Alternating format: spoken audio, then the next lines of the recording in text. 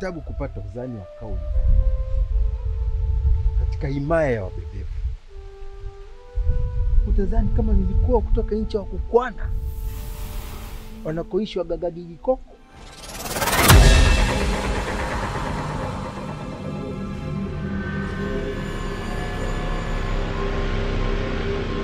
Wewe ni muhimu katika maisha yangu, lakini sio muhimu kama mamangu. Lakini Toni, swala hili jaribu kuliangalia mara mbili mbili.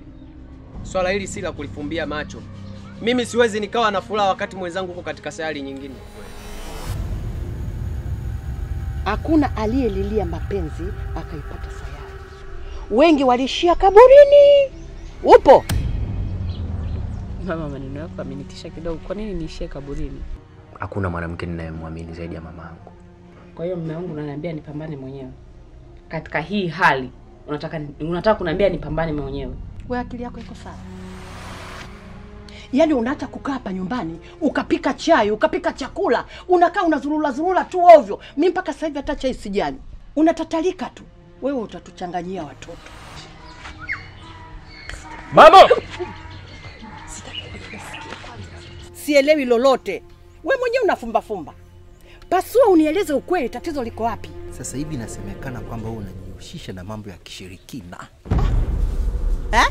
Usiku kucha na kesha na wewe, lakini sioni matokeo yoyote. Unafurahi tu kulali na samaki ukikushushia maji baridi kutoka katika milima ya Ndungu. Yaani wewe mayai ukaangia chips ujotusumbua mimi kuna kakaangu. Wachawi wana akili sana, mme wangu. Kwanza mchawi ana akili, anakuwa mcheshi, anakuwa mtu mwenye huruma ili aweze kukupata haraka. Uliajulia wapi wewe? Ndio nakwambia hivi, dunia nzima, kila sehemu yanazungumzwa. Nilikuwa nilikuwa naomba hela kidogo. Kwani hawezi kuzungumza mpaka unishike?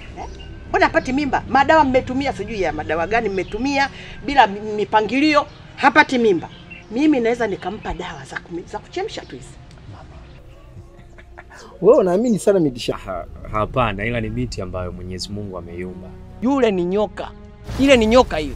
Unapoishi naye ishi naye kwa machale, ishi gongo liko hapa. Akitikisa kichwa umeweka.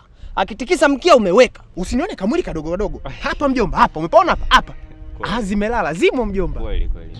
Ulishawahi kushika ujauzito, si mara mbili, si mara tatu, lakini mimba yako huwa inatoka, na msababishaji wa kutoa hiyo mimba ni mama yako mkwe. Ala, Mama, mimi siwezi kuendelea kutembelea juu ya mimba wakati wa usiku, ila hali nimeona mchana.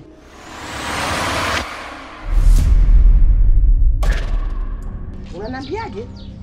huwezi kutembelea kwenye miba. Sio kwa mapenzi yayo mwenzangu, ana mapenzi ya kizamani. Upo